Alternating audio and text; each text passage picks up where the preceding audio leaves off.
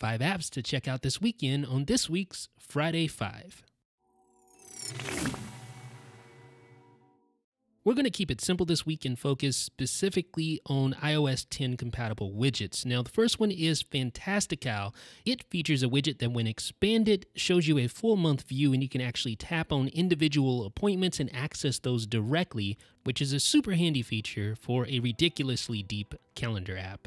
Now, if you have your own YouTube channel and you like to keep up with your subscribers, then YTCount is a great application. It features a iOS 10 compatible widget, which allows you to refresh and view your real-time subscriber count right from that handy interface. By now, everyone knows about Shazam. It allows you to quickly identify music that's playing around you.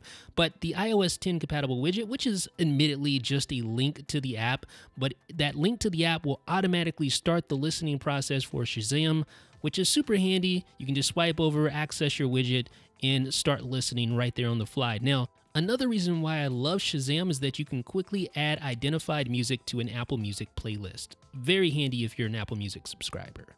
Copied is a clipboard management app that happens to have an iOS 10 compatible widget. So you can go in here, identify the contents of your clipboard just like that, you can, of course, save the contents of your clipboard and then copy saved items back to your clipboard to dump them elsewhere within iOS. So watch this. I'm going to copy this item here, which is a URL. I'm going to paste that right into Spotlight Search just like that. Now, the final item on our Friday 5 list for this week is PCalc Lite. This is a great calculator widget for iOS 10 and it has a compact view and an expanded view if you really need to do some number crunching.